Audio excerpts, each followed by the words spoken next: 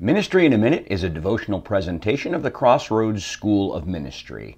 Whatever platform you're on, like, share, subscribe, help us get the word out about the Crossroads School of Ministry.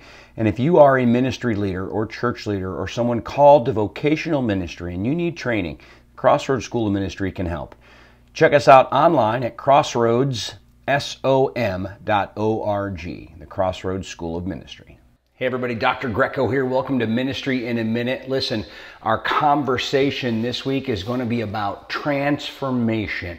And, and, really, you know, transformation is what we are, are after as ministry leaders and as pastors for everyone we minister to, but it begins with us we have to be transformed. You know, Romans chapter 12, verse 2 be transformed by the renewing of your mind. If we aren't going through a process of transformation where we're growing in Christ and we know Him more deeply, we're going to have trouble passing that on to other people. And so, we're going to deal with transformation. We're going to be in Psalm 51 all week. And this is a famous psalm. A lot of us know where this comes from. This is a psalm of repentance after David sinned with Bathsheba, he, he went to the prophet Nathan came to him and revealed his sin to, sin to him, and he pours out his heart to God and says, God, you know, I want to be clean. I want to be I want to be fixed. And you know, that's really the kind of where the, the key is in this this Psalm 51 when we talk about transformation, and it begins with repentance because this the, the postscript the prescript of this psalm says it's about this incident with david and bathsheba.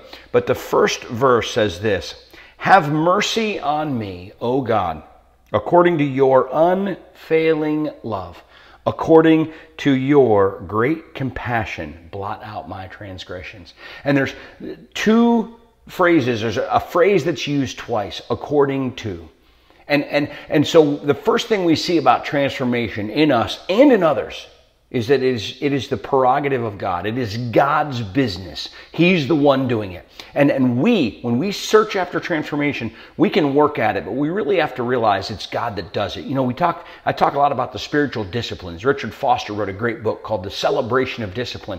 And he lists all these spiritual disciplines, study and prayer and, and meditation and service. And there's just there's like 12 or 13 different things that, that he lists that, that are designed to transform us. But what they really do is put us in a position where God can work on us. We don't do the work, God does. And so, so David begins this psalm with that, according to and according to. And then something very important, according to what? It says God's unfailing love. And then it says his compassion. Folks, we have to realize when we want to be transformed and when we're going to let God transform us and, and understand that He's in the transforming business, that His character, the foundation of His character, is love and compassion. The word here is hesed uh, when it says your, your uh, loving kindness in, in verse 1, and that is Old Testament grace. That is what is at the foundation of who God is. And so we can let Him do the work of transformation. We can use Jesus as a goal for who we want to be because God's, what makes up God begins with love. It begins with compassion. He wants to forgive. He wants to see us transformed into who He's made us to be.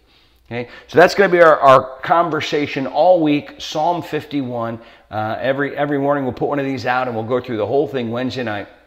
We'll see you tomorrow uh, for another ministry in a minute.